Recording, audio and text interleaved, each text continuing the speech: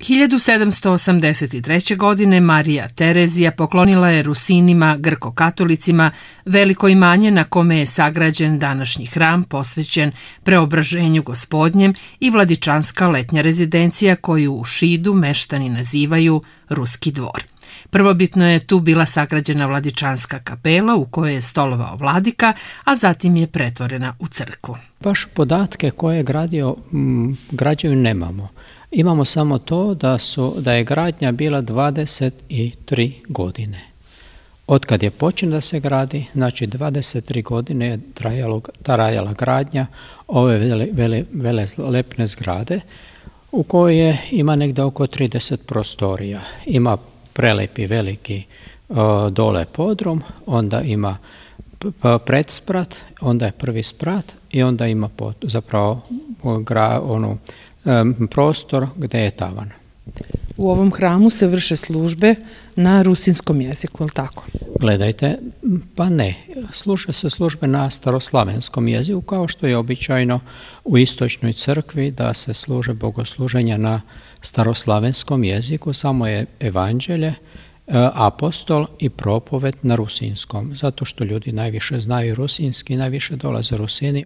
Ikonostas u crkvi sa ikonopisanjem i razbarijom je uradio Andrija Marković, a sami radovi su trajali 13 godina. U ovoj građevini sem hrama se nalaze i dva vrtića, jedan je na nivou grada i pripada predškolskoj ustanovi Jelica Stanivuković Šilja, a drugi je ustupljen udruženju Otvoreno srce, u kome se međusobno druže roditelji i deca sa smetnjama u razvoju. Pored vrtića tu je i letnja rezidencija vladike i uređene sobe sa ležom ležajevima koje koriste gosti, učesnici raznih manifestacija u Šidu koji imaju potrebu tu da prenoće. Prostorije se renoviraju negdje oko četiri godine već, jako sporo i jako polako, zbog toga što su svi veliki, prostorani. Veliki je zahtev, zahtev koji je ogromne pare, a istovremeno i truda i rada.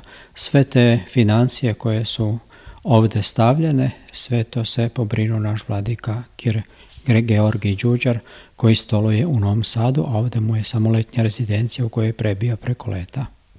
Vidimo da ste i u fazi radova na renoviranju i restauriranju bedema oko hrama. Jeste, sve zahvaljujući našoj opštini koja je pomogla sa sredstvima, također i pokrajina Vojvodina koja je isto dala sredstva da bi se omalterisao taj zid koji stoji već četiri godine kako je obijen i podrezan zbog vlage, ako je bila velika vlaga, tako da se sad evo ga privode kraju te radove na bedemu, a istovremeno radit ćemo, renovirat ćemo i ove gvozdene roštelj, zapravo ti kapiju veliku i drugo oko nje, sve to ćemo renovirati u sklopu bedema.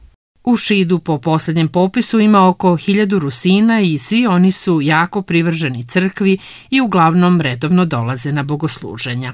I u ovom hramu u narednim danima slede pripreme za proslavu najradosnijeg praznika Uskrsa.